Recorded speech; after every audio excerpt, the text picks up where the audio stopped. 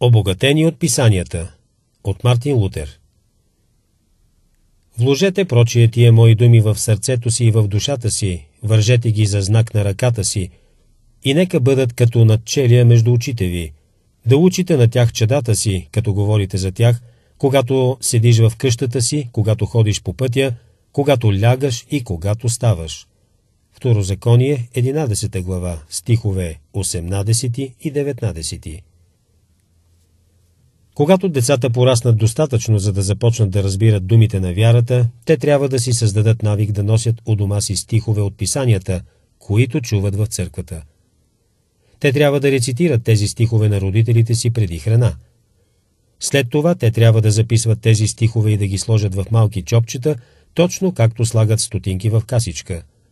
Нека касичката на вярата да бъде златна, стихове за достигане до вяра, като Псалм 51 стих 5, Евангелие от Йоанн 1 глава 29 стих, Послание до римляните 4 глава 25 стих и 5 глава 12 стих са като златни монети за тази малка касичка.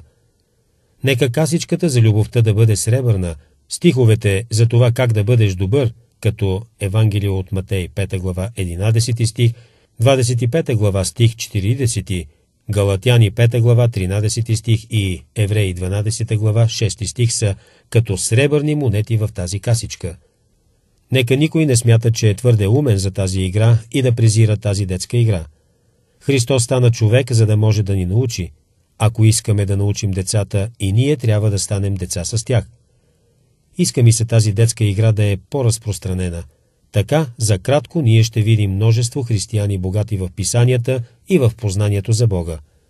Те могат да получат много от тези касички и като ги използват, да научат цялото писание.